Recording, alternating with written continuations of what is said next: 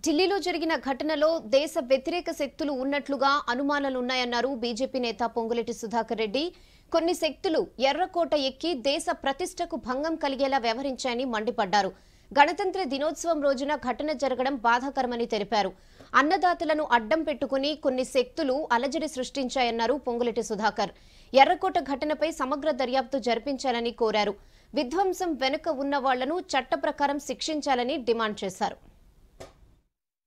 Kisan rally పేరుతో జరిగినటువంటి సంఘటన కొన్ని సంఘ విద్రోహ శక్తులు దేశ వ్యతిరేక శక్తులు జాతి వ్యతిరేక శక్తులు మరి చేసినటువంటి సంఘటనగా అనుమానం ఉన్నటువంటి పరిస్థితుల్లో సమగ్ర దర్యాప్తు జరిపి ఈ ఇన్సిడెంట్ నిజంగా ప్రజాస్వామ్యానికే ఒక రకంగా ఏ శక్తులైతే నరేంద్ర మోడీ గారు రైతు పక్షపాతిగా అనేక మంచి కార్యక్రమాలు చేస్తూ ఆత్మనిర్భర్ భారత్ వైపు అడుగులేస్తున్న ఈ తరుణంలో అది గణతంత్ర దినోత్సవ సందర్భంలో ఈ ఇన్సిడెంట్ జరగటం వాళ్ళ యొక్క పైత్యం పరాకాష్ఠలో వెళ్ళిపోయింది కొన్ని శక్తులు.